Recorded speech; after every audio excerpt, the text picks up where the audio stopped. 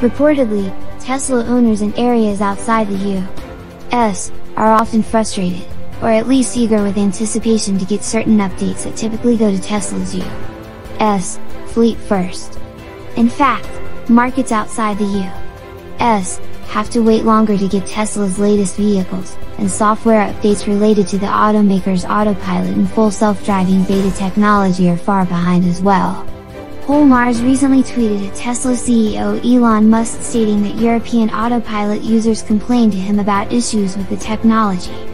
It seems they're not talking about the usual issues that folks in the U.S. may be experiencing as well, but rather, software update related concerns that make for incorrect observation in vehicle responses to speed limits. At Elon Musk European autopilot users complain to me every day about incorrect speed limits and not getting to the correct speed before you cross the sign no the team is extremely busy but would be great if you could have someone see what's going on for them. We're aiming for a significant improvement for owners outside the US around March, depending on regulatory approvals. Of course, Musk responded to Whole Mars quite quickly. Musk receives a multitude of tweets and replies, so it appears he must pick and choose which messages he's going to reply to. He often tweets and replies to keep people apprised since Tesla doesn't have a PR department.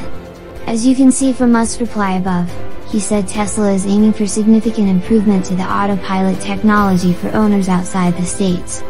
He also said those improvements are planned for around March, at least he didn't say two weeks.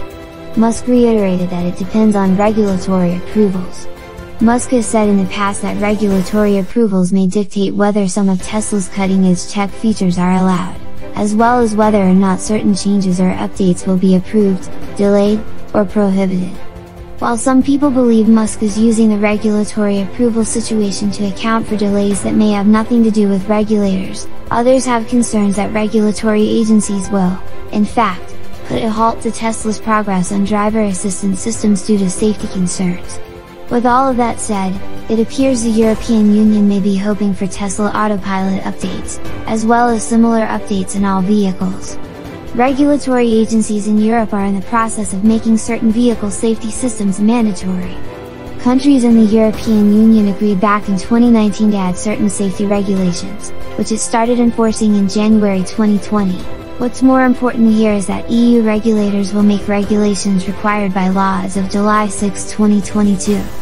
This is not long after Musk's hopeful March update, which, based on Tesla's history and the current mess across the globe, stands to be delayed.